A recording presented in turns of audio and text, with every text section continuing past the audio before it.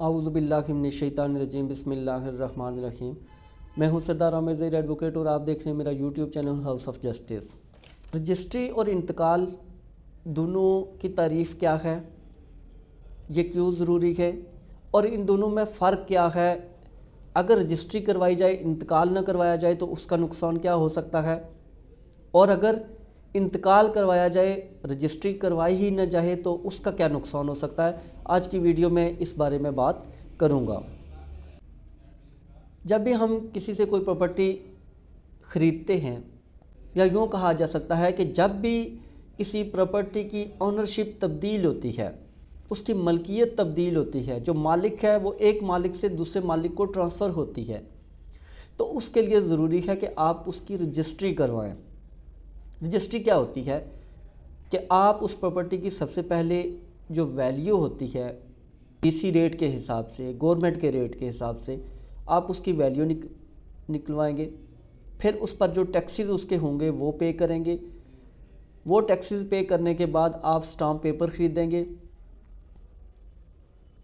Stamp paper जब आप लेंगे तो उस पर आप फिर उस प्रॉपर्टी की तमाम डिटेल्स लिखेंगे कि ये कौन सी प्रॉपर्टी है, किसकी मलकियत है खेवट खसरा, खतूनी नंबर क्या है, पुराना मालिक, अब नए मालिक को कितनी वो बेच रहा है मतलब पाँच मल्ली है, दस मल्ली है, कनाल है, कितनी अमाउंट में बेच रहा है दूध अरबा क्या है, ये सारी आप उस पर तहरीर करके बेचने वाले का नाम लिखेंगे, दो गवाओं का नाम लिखेंगे। तो उस स्टाम्प पेपर पर आप प्रिंट लेके उसको आप सब रजिस्ट्रार के ऑफ़िस से जो बेचने वाला है वहाँ जाके बयान दे के आपके हक में उस पर एक नंबर लगवा के आपके हक में वो रजिस्टर्ड करवा देगा। तो ये एक रजिस्ट्री बन जाएगी। जबकि इंतकाल क्या होता है कि आप, आप पटवारी के पास जाते हैं तो वहाँ पटवारी अपने रजिस्टर में इंदराज कर लेता है कि ये प्रॉपर्टी आपके नाम ट्रांसफ़र हो गई है। उसमें सिंपल सा एक तरीक़ाकार होता है।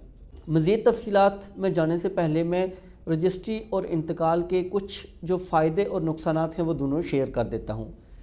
रजिस्ट्री हमेशा सब रजिस्ट्रार के ऑफ़िस में रजिस्टर होती है और सब रजिस्ट्रार उसको रजिस्टर करता है, जबकि जो इंतकाल होता है वो पटवारी के पास दर्ज होता है और तहसीलदार उसको मंजूर करता है।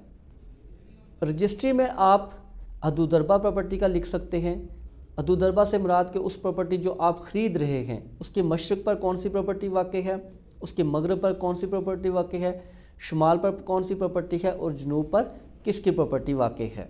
ये जब आप डिटेल लिख लेंगे तो आपकी प्रॉपर्टी अगर आप वहाँ पर उसको ढूंढना चाहें तो बड़े ईजीली आप उसको ढूंढ सकते हैं। जबकि जो इंतकाल होता है, उसमें हदूद अरबा नहीं लिखा जाता।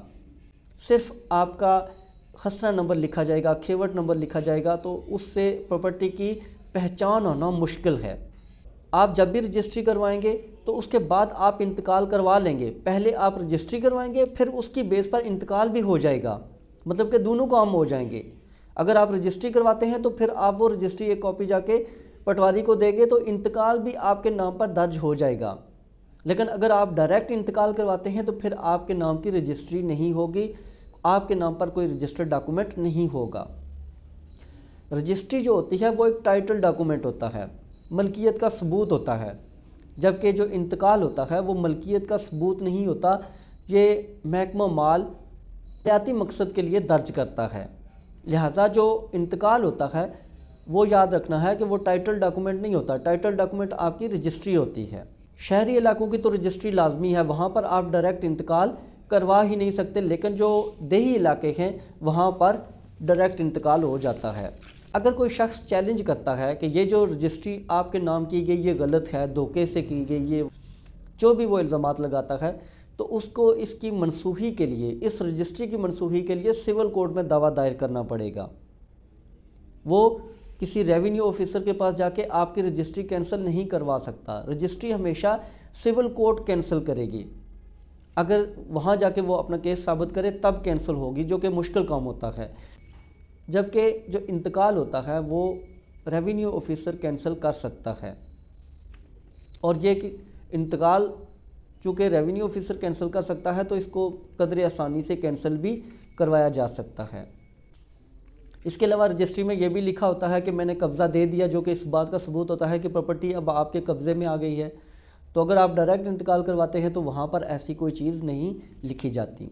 रजिस्ट्री करवाते वक्त बेचने वाले की तस्वीर, गवाहों की भी तस्वीर बनती हैं, उनके शनाख्ती कार्ड की नादरा से वेरिफिकेशन भी करवाई जाती है, उनका सब रजिस्ट्रार के ऑफ़िस में बयान भी होता है, जबकि इंतकाल में ऐसी कोई चीज़ नहीं होती, ना तो वेरिफिकेशन होती है, ना तस्वीर होती हैं सिंपल बयान होके वो भी पटवारी के पास तो इंतकाल दर्ज हो जाता है। लिहाजा इंतकाल उसको कैंसिल करवाना बड़ा आसान होता है रजिस्ट्री को कैंसिल करवाना बहुत मुश्किल होता है। एक जजमेंट है 2019 सीएलसी पेज 335 इसमें कोर्ट ने ये डिक्लेयर किया कि जो मैकमम माल की इंट्रीज होती हैं, वो कोई टाइटल क्रिएट नहीं करती, ये सिंपल जो मालियाती मकासद होते हैं, उनके लिए की जाती हैं।